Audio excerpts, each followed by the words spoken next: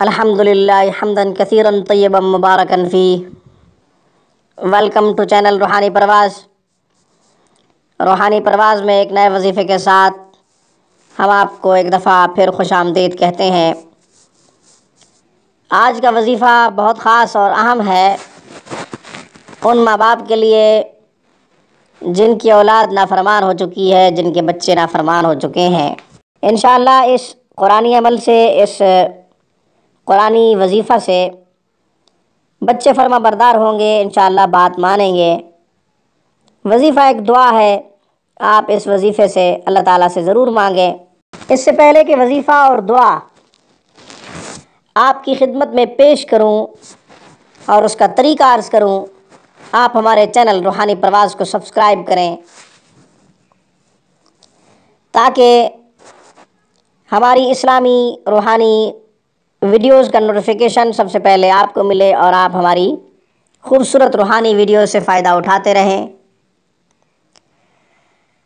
ناظرین، بچے نا فرمان ہو چکے ہوں، نافرمان بچوں کو فرما بردار بنانے کی دعا۔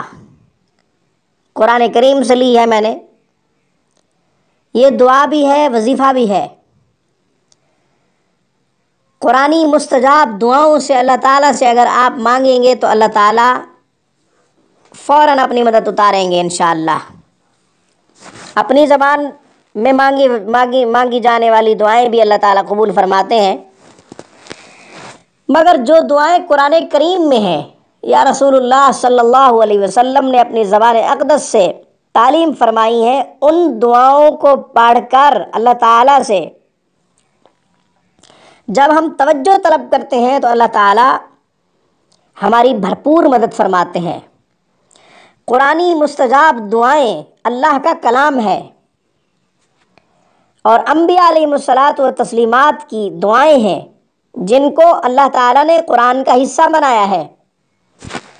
اور پھر نبی کریم صلی اللہ علیہ وسلم کی امت کے لیے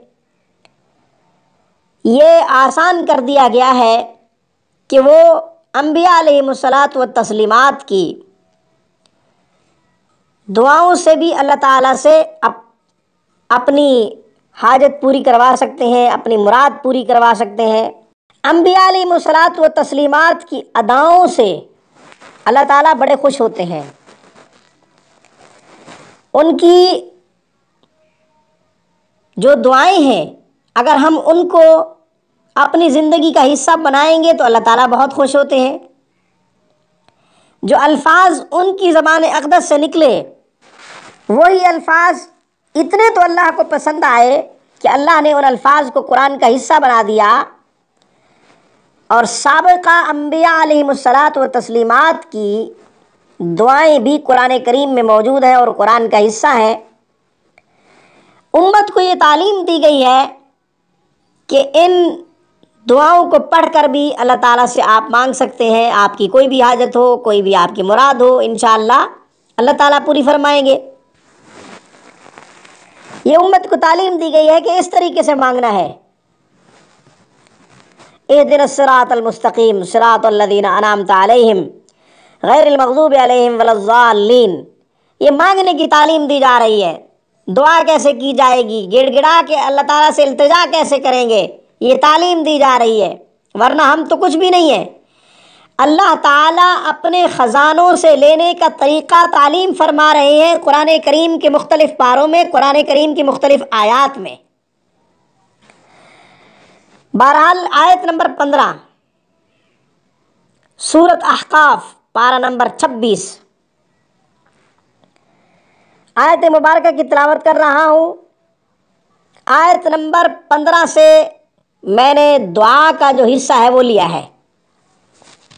بچے اگر نافرمان ہو، بچے اگر فرما بردار نہ ہو، بات نہ مانتے ہو، غلط بات کے اوپر ضد کرتے ہو، تو آپ یہ دعا، آپ یہ آیت مبارکہ دو طریقوں سے پڑھ سکتے ہیں۔ درو شریف تین دفعہ پڑھیں، گیارہ دفعہ اس دعا کو پڑھیں، پھر درو شریف تین دفعہ پڑھیں، کسی بھی چیز پہ دم کر کے بچوں کو کھلا پلا دیں۔ روزانہ یہ عمل کریں جب تک آپ کا یہ دکھ آپ کی تکلیف ختم نہ ہو۔ ایک طریقہ یہ ہے۔ دوسرا طریقہ یہ ہے کہ اگر بچے دور ہیں، باہر ہیں، آپ پاکستان میں ہیں یا آپ باہر ہیں، وہ بچے پاکستان میں ہیں، بہرحال دور ہیں تو نماز کے بعد اس دعا کو تین دفعہ، سات دفعہ درد دل سے پڑھ لیں۔ انشاءاللہ بچے نافرمان نہیں ہوں گے، بچے فرما بردار ہوں گے، بات بھی مانیں گے اور غلط بات پہ ضد نہیں کریں گے۔ آیت مبارکہ، آیت نمبر پندرہ صورت احقاف، پارہ نمبر چھبیس۔ اعوذ باللہ من الشیطان الرجیم، بسم اللہ الرحمن الرحیم۔ رب اوزعنی ان اشکر نعمتک اللتی انعمت علی وعلا والدی وان اعمل صالحا ترضاه واصلح لی فی ذریتی انی تبت الیک و انی من المسلمین سبحان اللہ دعا اپنے اندر ایک جامعیت رکھتی ہے۔ پھر انشاءاللہ کسی نئے وظیفے کے ساتھ، روحانی پرواز میں ہم آپ کی خدمت میں حاضر ہوں گے۔ تب تک کے لیے روحانی پرواز کی طرف سے اجازت دیجیے السلام علیکم ورحمۃ اللہ وبرکاتہ۔ Thank you for watching my video and اللہ حافظ